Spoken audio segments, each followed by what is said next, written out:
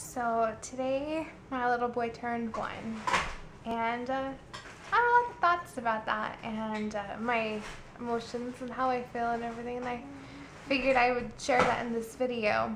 Um, I've had this, some footage from Deegan's birth but that was before we started to daily vlog and um, I would really like to, been really wanting to put it together in a video. So I figured that there's no time but his first birthday to commemorate his birth and uh, and to review some of that footage and my thoughts and everything.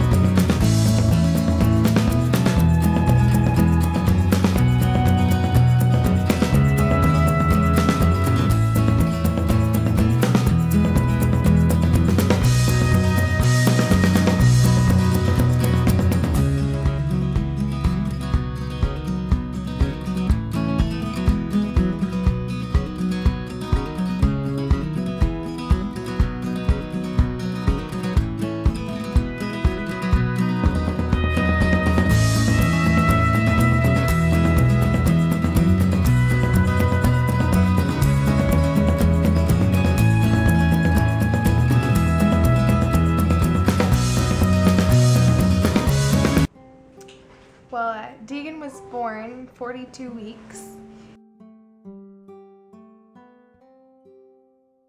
And uh, so and I was overdue two weeks, and um, it, it wasn't easy because my doctor was going out of town. And when I was 40 weeks along, I went in and he kind of convinced me to go in and try to induce labor and it was it was real challenging. The they gave me this hormones to um, help uh, labor because I was not close whatsoever. I wasn't ready. He wasn't ready. We just weren't ready.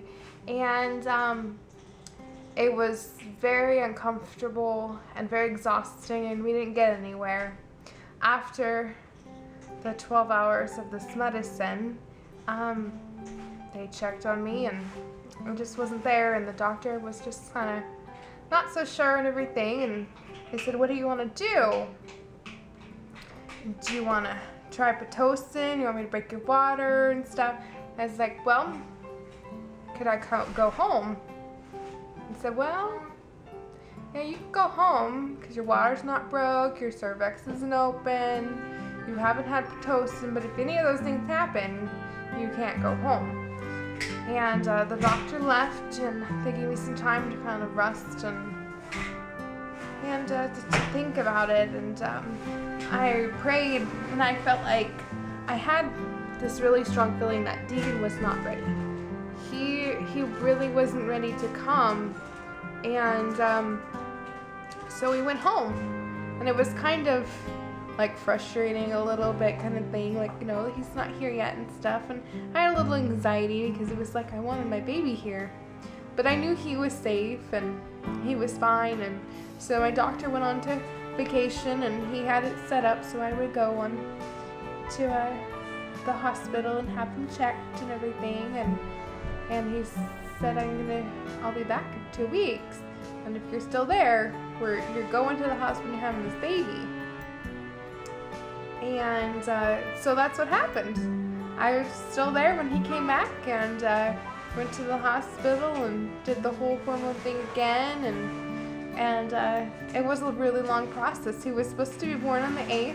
I mean, who's supposed to be born on whatever day babies make up their own birthdays, as I've learned to come, come to learn. But he was he was little though. He was only seven pounds, and uh, he was really tall though. He was like 21 and a half inches long, and he was just he was just arms and legs, as you can see in the video and the pictures I'll show. But he was just arms and legs, and I just I just felt so blessed. I just remember that moment that he was there. Well, he's my baby boy.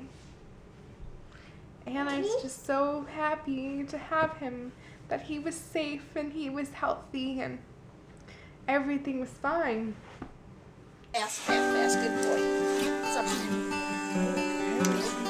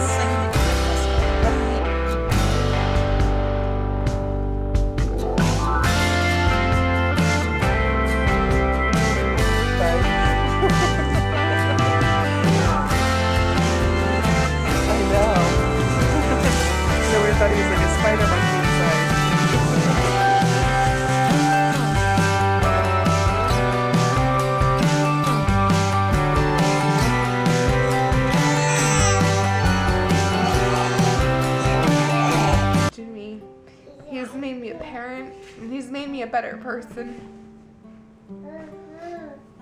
I, I owe so much to being a parent.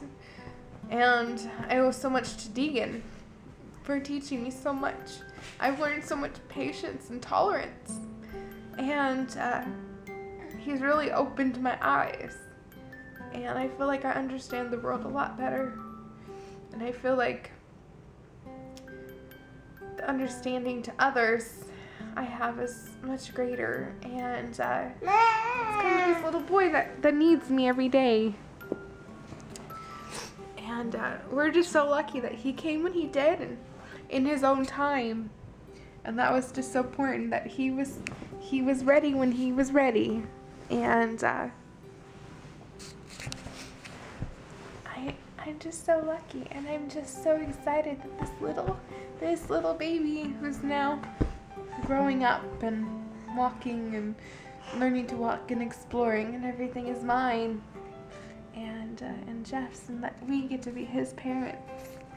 Huh. We're just so lucky.